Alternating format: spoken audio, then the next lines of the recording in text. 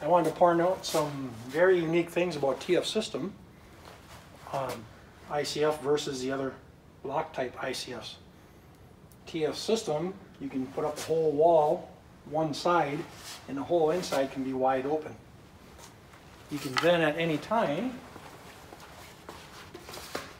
add poly panels to the inside simply by sliding the plastic rails over, open, and put panels in.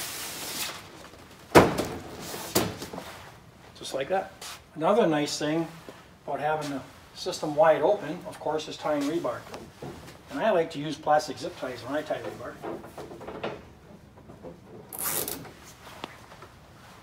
So you can tie the joints to the rebar together, or you can tie your horizontal rebar to the plastic studs and just leave them just loose enough so they'll stay in place, but you can still slide the rails back and forth. With TF system, the only form system in the world where you can open up the side of the wall, slide poly panels up and down, and you can pour through the side of the wall. And you get some panels that will go up stiff, and there might be an area where they're a little loose, and there's one little trick. We got little holes in the side of the rails, so you can stick a nail in. You can have all the poly panels up in the air, and you can come along with a pump hose, and you can pump concrete inside a wall, and somebody will come along behind you. If you spilt any concrete, they'll brush it off. And then you just come along and slide the panels down, so on and so forth. Reach around the corner if you got one slice tight. And that's how you do it.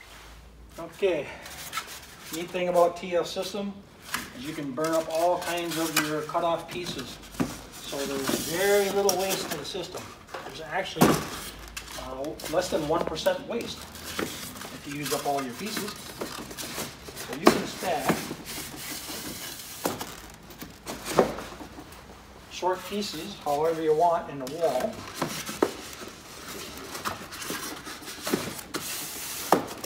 And fill up a whole column.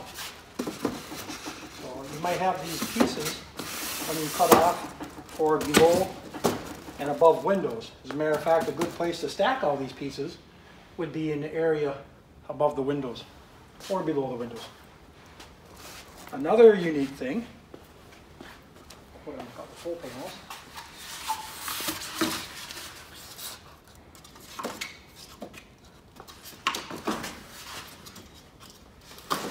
Never works when someone's filming you,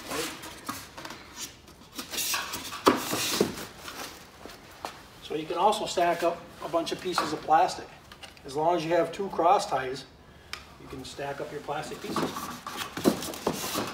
One on top of the other. So if you stack up a bunch of short pieces on top of each other, that's all fine. The cross ties on here may not line up with the ones in your wall, but it doesn't matter. So when you slide a rebar in, it'll sit on these and this will either be high or low. Maybe it's a little bit in your way, but it doesn't matter. The rebar will sit on top of them or sit below them. As long as you can slide the rebar through, you'll be fine.